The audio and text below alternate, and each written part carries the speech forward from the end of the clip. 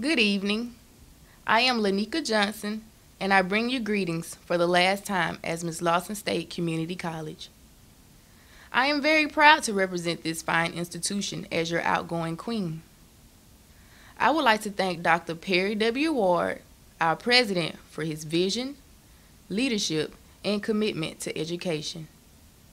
I would also like to thank Mrs. Cruz, Dr. Anthony, Dr. Crawford, and my advisors for their support and leadership. They have made a great impact on my life and future endeavors. During my tenure as Ms. Lawson State, I was a member of the Student Government Association, Students in Free Enterprise, and historian for Phi Beta Lambda.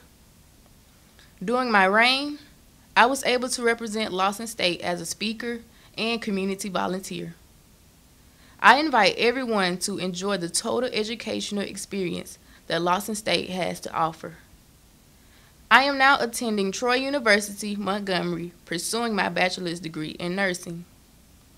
Finally, I would like to leave this message to the new queen and her court. Always put God first, and in your endeavors, always strive for excellence.